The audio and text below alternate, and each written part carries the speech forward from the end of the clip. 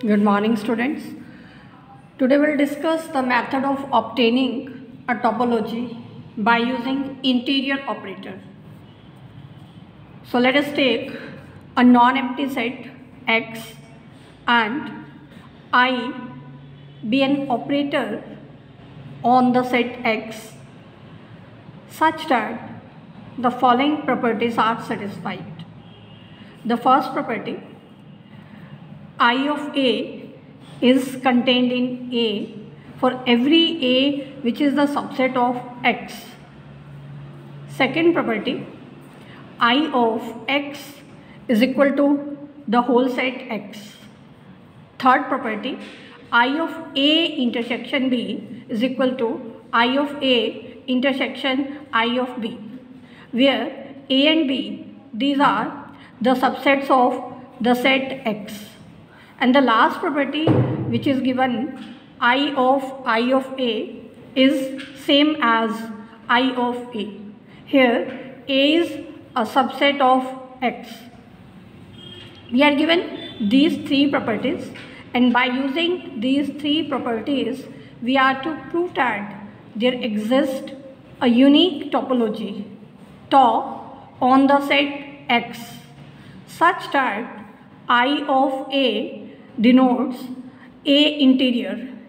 Here A interior means the interior of A with respect to the topology tau.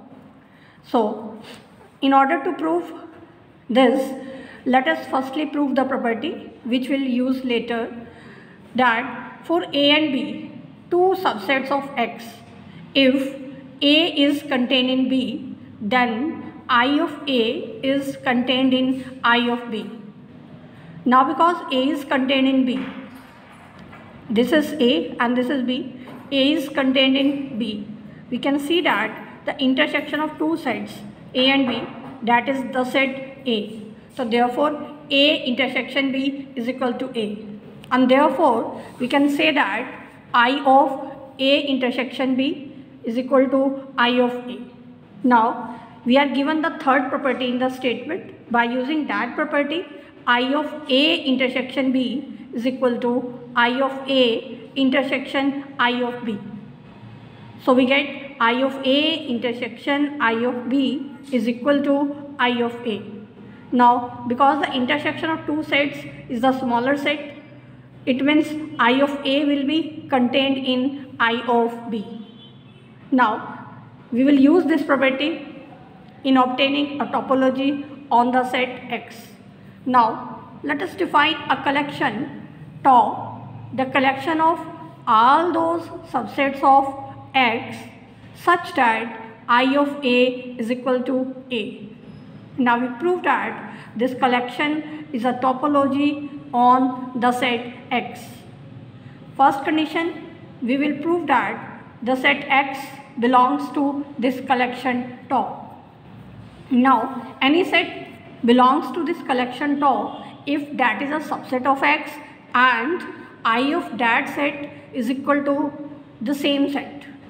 Now, if we are to prove that x belongs to tau, we will have to show that i of x is equal to x.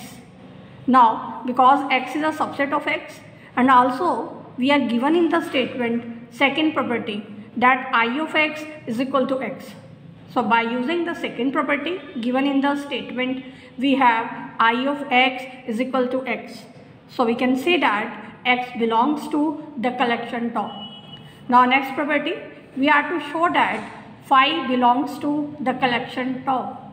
It means we will have to show that phi i of phi is equal to phi. Now because phi is a subset of x and also by the first property in the first property, we are given that I of A is contained in A for every A subset of X. Because phi is a subset of X, by using this property, we can say that I of phi is contained in phi. And also phi is the subset of every set.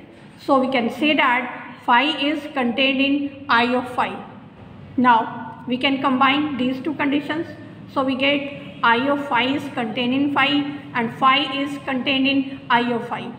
Combining these two conditions, we get I of phi is equal to phi. So by definition of collection tau, we can say that phi belongs to tau. Now in the next property, let us take AI, I belongs to index set, be a collection of the members from tau and we are to prove that their arbitrary union also belongs to the collection tau. So let us take A is the union of these AIs where I belongs to index set. Now we are to prove that A belongs to the collection tau. So in order to prove this, we will have to show that I of A is equal to A. Now, we are given in the statement that I of A is contained in A for every A subset of X. And now, because A is union of AI, therefore each AI is contained in A and we already proved if one set is contained in another then i of that set is contained in i of another set. So i of ai will be contained in i of a. Now because ai belongs to the topology, uh, ai belongs to the collection tau and by definition of this collection i of ai will be ai. So we can put the value here this will become ai.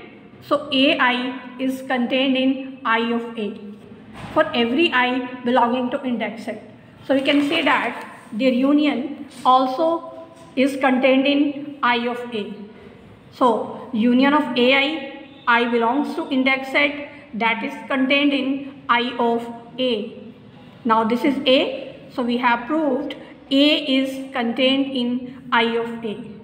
Now a is contained in I of A, I of A is contained in A. So therefore, we have I of A is equal to A. So by definition, we can say that A belongs to the collection tau. Now the last property for being a topology is that if we take two members from tau, then their intersection should also belongs to tau. Now, because A belongs to tau, so by definition of tau, I of A will be same as A. B belongs to tau, so I of B will be same as B. Now, to prove that A intersection B belongs to tau, we are to prove that I of A intersection B is equal to A intersection B.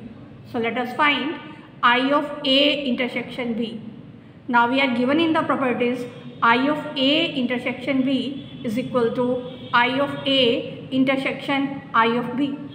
Now substituting the values from here, I of A is A, I of B is B. So we have proved I of A intersection B is equal to A intersection B. So by definition, we can say that A intersection B belongs to tau. So all the conditions for being a topology are satisfied by this collection tau. So we can say that tau is a topology on the given set. So we have proved the first step in which we have obtained a topology on the set X. Now in the next step we prove that I of A is nothing but the interior of the set A with respect to the topology tau. Now in order to prove this we use the properties of interior which we already discussed. We discussed a interior is the largest open set contained in A. So we can say that A interior is contained in A. So I of A interior will be contained in I of A. And A interior belongs to tau. So we can say that I of A interior is equal to A interior. And therefore we have A interior is contained in I of A by substituting the value here. If we substitute this value here, we get A interior is contained in I of A. Now we prove the converse. Conversely, because I of A is contained in A, therefore its interior with respect to topology tau will be contained in A interior. Now we are given in the statement I of I of A is equal to I of A and by definition of collection tau such members belongs to the collection tau Therefore I of A will belong to tau It means I of A is tau open. Therefore I of A interior is equal to I of A and therefore we get I of A is contained in A interior. Now we can combine the equations 3 and 5. From there we get I of A is equal to tau interior of A. Now in the last step we prove the uniqueness of this topology. Now let us take tau star be another topology on the set X such that the interior of A with respect to this topology tau star is same as I of A. Now we have I of A is equal to tau interior of A and also I of A is equal to tau star interior of A. So combining these two we can say that I of A, tau interior of A and tau star interior of A. These three are the same. It means I of A is same as A interior is equal to interior of A with respect to tau star. Now we have to prove that these two topologies tau and tau star these are same. So let us take an, an arbitrary member from the topology tau. Now A belongs to tau. So by definition of tau I of A is equal to A. Now because I of A is equal to A interior so A interior is equal to A and A interior is further is equal to tau star interior of A. So we can say that tau star interior of A is equal to A. So by definition it means A belongs to tau star. Proceeding these steps in the reverse process in the same way we can prove that tau star is contained in tau. So combining the two we can say that tau is equal to tau star.